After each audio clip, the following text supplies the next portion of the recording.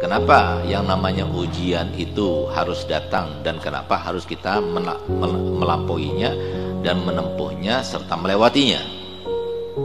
Nah, karena Allah SWT sudah terlanjur dalam Al-Quran berfirman dan berjanji kepada Nabi kita Muhammad SAW. Apa itu? Wala sawfa yu'tika dan pasti kami akan berikan semua permintaan wahai Muhammad sampai engkau benar benar benar benar ridho Sedangkan keinginan Nabi Muhammad, tujuan Nabi Muhammad, terutama ketika turun ayat itu, ketika dia itu mendapatkan ayat tersebut, maka beliau itu berseri-seri.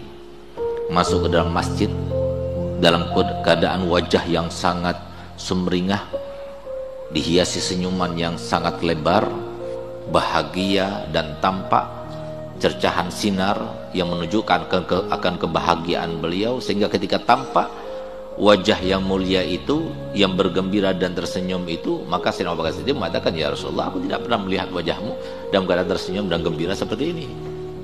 Apa yang terjadi wahai Nabi? Maka dijawab oleh Nabi Muhammad Aulia barusan telah turun sebuah ayat yang menyerangkan aku terkait dengan umatku. Apa itu?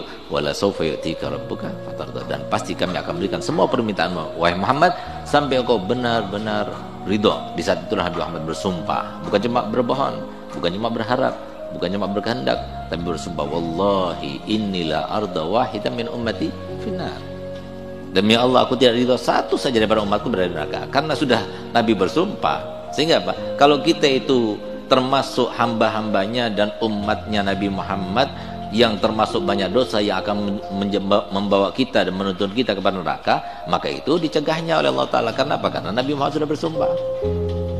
Masalahnya satu-satunya cara untuk meleburkan dosa kita untuk menaikkan derajat kita untuk menambah pahala kita hanya dengan ujian. Jadi kalian harus paham itu.